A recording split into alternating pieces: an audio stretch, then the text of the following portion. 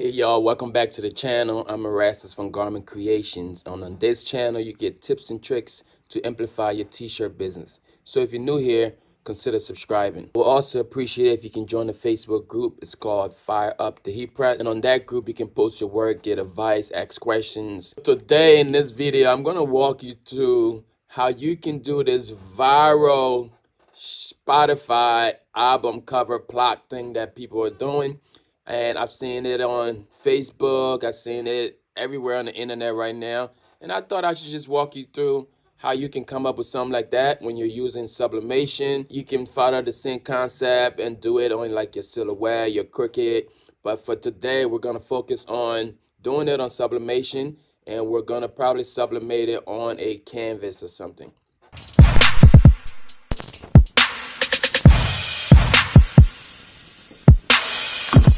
Going to happen on the computer. So I'm going to walk you to what needs to happen on the computer. And then we will jump over, print it, and try to apply it.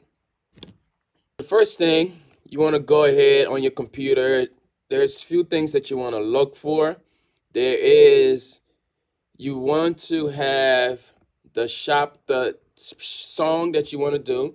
So the first thing, I'm going to go to Spotify here. It's just spotify.com and I want to find my song that I want to make this album block off. So mine is Waymaker, Waymaker by Michael W. Smith. And all I did right here, find the song, I just type in the song title, Waymaker. And then I know this is the song.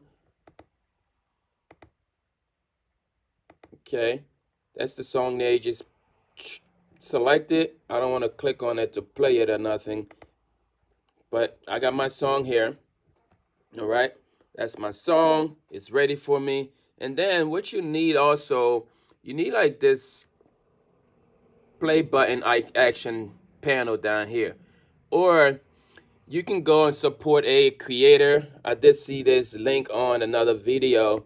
Go ahead and support this creator or this content creator on Etsy and I will list there the link down below. I have no idea who this person is, but they do have this button here that you can buy for 215 you know, just to support them, or you can make it yourself, whatever.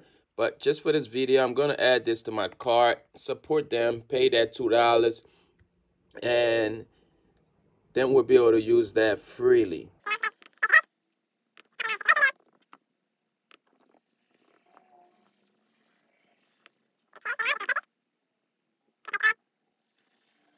Cool. So once you do that, they're going to send you a download link. I'm just going to refresh, give it a second. The download link is going to be available where you can download this thing here. Okay, so once you refresh real quick, you get the download link. I'm just going to download that onto my computer. So after I download it, I get the file on my computer here. It comes in as a zip file. So I'm going to right click, open in folder. Once I open in folder, I'm going to extract all by just right clicking, extract all, hit extract there, bam, bam, bam, the folder here, and you, you find the file type that you want. We're probably gonna mess with the PNG, and this is the PNG file here. So we're gonna leave that for now. We already know where it's at. So now we'll jump back over to Spotify. We already went ahead, we already have our song. What you wanna do here on this song area, you wanna copy this link you want to copy this link because this link here is what's going to get you the song code. The code that you're going to be able to paste or print out. And then once it's scanned, you'll be able to find that song. So I'm just going to go to copy this. And then into like open a new window. Just search Spotify code. Once you search Spotify code, you'll get this link here. And that link that you just copied, you want to paste it down here. And then get code. So what, what happens there, it gives you a code. And then I'm going to hit download. I've already downloaded it. It's on my computer right here. Okay, so I've already downloaded. So now we have that. Now the next thing that you're going to need is the album cover. You know, and what I did with the album cover, I knew my song. So I just went to Google and hit Waymaker album cover. And this here is my album cover. And I'm just going to save this one. I'm not sure if I already saved it. I'm going to save this image and onto my computer. So I'm actually going to do this in Affinity Designer because right now my Photoshop is not opening up for some reason. So I'm going to go to File, New here, and I'm going to set my document size 8.5 by 11, 300 DPI on the inches, and we're going to do it in portrait mode. And that's all we're going to do here. I'm just hit create. So now at this point here, we have our 8.5 by 11, and all we have to do is just put everything together the way we want it to print. So the first thing I'm going to bring in here, I'm going to go to File, Place. It'll be the same steps if you're using like Photoshop. You can do this in Silhouette, like whatever platform you have that will print the size of whatever canvas you're using. Some people are doing this in their Silhouette and they're putting it just on like glass. It's all good using decal, whatever, sticker vinyl whatever you're doing, you just figure out your method of printing. But like I said, I'm going to do this in, so I'm going to bring in my album cover. Boom. Here's my album cover. I'm going to just place it where I want it at. Okay. This happens to be one of my songs, y'all, like, because it's true that God himself is definitely a waymaker and he's been a waymaker in my life. And this song just gets me there. So I'm going to place my second thing down here, which happens to be the code, which is cool right now, like that. I'm going to also bring in the music player we downloaded. Just finding everything now. I know we download this as a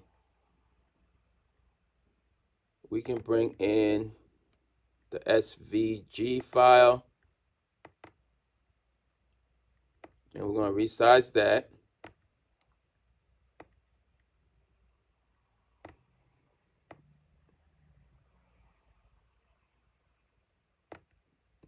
Just going to make it a little bigger here. Make sure it's nice and centered, center aligned, because that's how it's going to be. Same thing with this here. I'm going to make sure I center align it. Okay.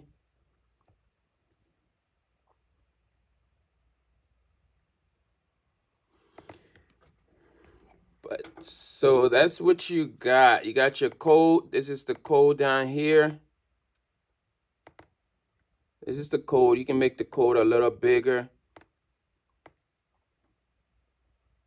Make your code a little bigger right there. And your album cover is in.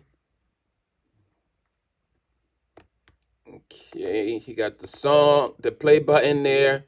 You got the code. You got the song, album cover. And now, this is good. You can fill in this bottom if you want so it's not white when you print it out. But right now, it's cool. But if you're doing this in decal, you won't have to worry about that because that's going to be transparent okay you can do this in decal and then do the top here in like sticker sticker vinyl or sticker paper just print it out and then stick it onto your thing but like i said i wanted to show you guys how to do this on canvas and sublimation cool so now the next thing is to just jump over and print this artwork. So I'm going to print it and we'll jump over to the heat press here and get it printed for you. All the items that we're going to need to do this, I have my canvas, which is a nice flat surface. You can also do this method on glass. And what's going to make us sublimate on this is our laminator. You can also get this laminator. Okay, the one that I got is the laminator in this packet right here. That's the laminator that I have, of which I'll drop the link down in the description. So I just grab my laminator, I got my canvas, and we have our artwork, okay? This artwork, I'm printing it on the Crafty Besties paper. That's where I'm printing this thing on. So the first thing, when you're using this this um laminator, there's a dark side and there is a shiny side. You want to lay it down in the way where the shiny side is faced up.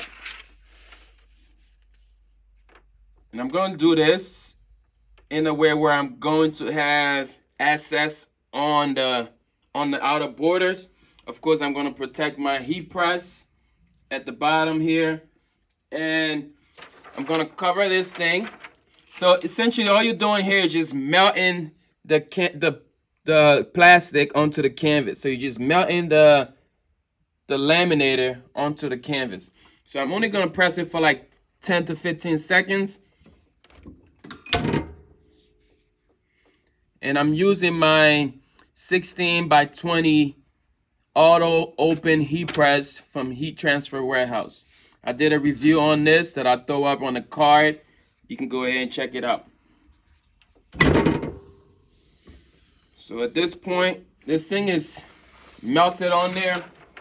As you can see, what I also like to do, I want to, like, you can do it in the way where you fold, you can fold up the assets right here. It is kind of hot. And sorry, I don't have gloves, so I'm going to use a shirt here. And what I'm going to do, I'm just going to try to fold this thing over because the plastic is still hot. You fold it over, you get that nice clean border. Okay, that's how I get my borders here because this is plastic. It's gonna stick and it's gonna melt. You may have to hit it again so the plastic gets warm or gets hot. I'm gonna do the same thing just to get that plastic to stay hot.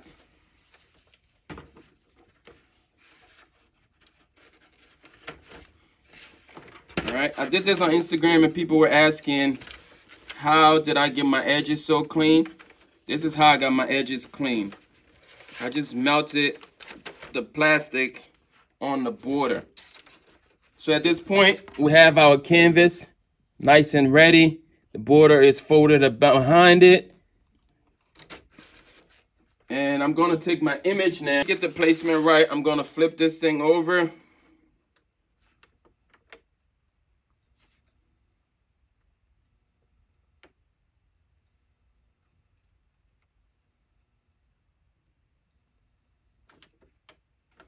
Okay, I'm gonna grab a piece of tape just to hold me down. Put a piece of tape right here. I should have made this a little bigger, but it's all good.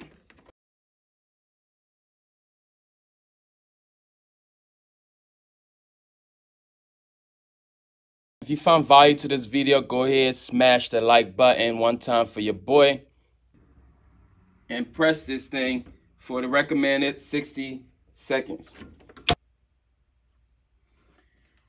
Okay, this is the part that I love about this machine. The auto open feature is incredible. Look at that. Just like that, it auto opened. And everything is good.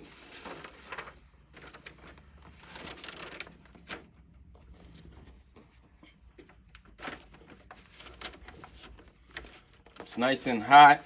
I want to make sure my plastic that I rolled around the edges stayed down.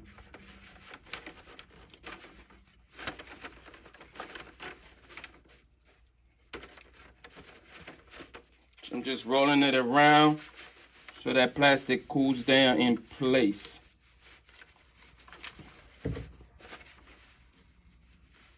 This one here is sticking out, so we just have to cut that off. It's totally fine. we have our code like this is it's nice and hot so y'all bear with me.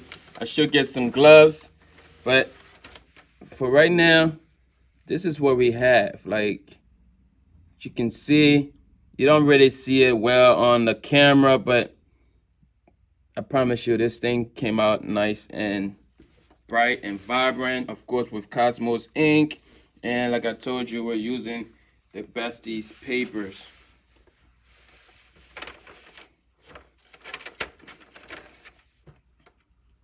And just like that, this is what our finished product looks like.